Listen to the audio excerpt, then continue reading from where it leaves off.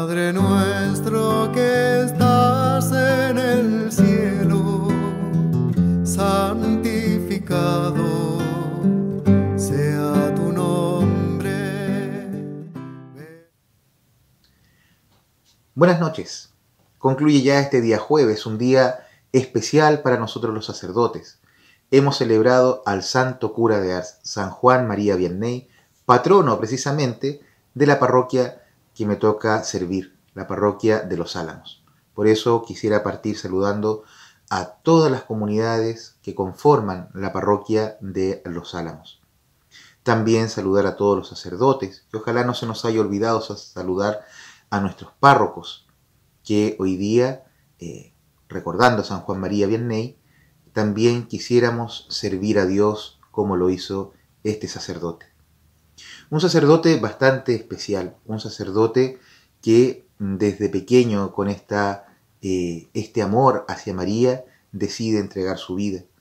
Aunque no le fue muy fácil, pero siempre quiso entrar en la voluntad de Dios siempre quiso hacer la voluntad de Dios para que otros a través de él tuvieran vida.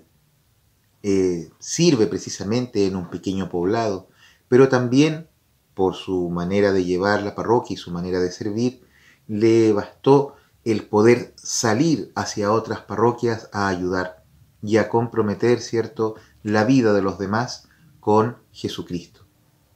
Que ojalá no se nos olvide nunca los sacerdotes somos personas con sentimientos, con aciertos y también con errores. Y seguimos formándonos cada día a través del pueblo al cual nosotros servimos. Por eso, como siempre dice nuestro arzobispo don Fernando, nunca dejen de rezar por los sacerdotes. Nunca dejen solo a sus sacerdotes. No somos funcionarios, somos servidores. Y por eso ayúdennos a servir mejor, ayúdennos a poner nuestra vida como el cura de Ars a disposición de las necesidades del pueblo encomendado. Que el Señor les bendiga en esta noche. En el nombre del Padre y del Hijo y del Espíritu Santo. Amén. Buenas noches y a rezar por todos los sacerdotes.